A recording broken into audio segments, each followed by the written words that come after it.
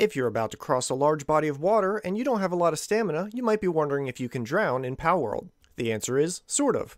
You see, as long as you go into the water with full stamina, you should be fine to swim across. The problem is when you go into water with low stamina or fall into water after gliding around and using up your stamina, because swimming takes a little bit of stamina as you swim around. Once you run out of stamina, then your health begins to deplete. Once it reaches zero, you die. So if you're playing on harder difficulties which has you dropping your items on death, you might want to be extra careful when gliding over water on low stamina or crossing larger bodies of water.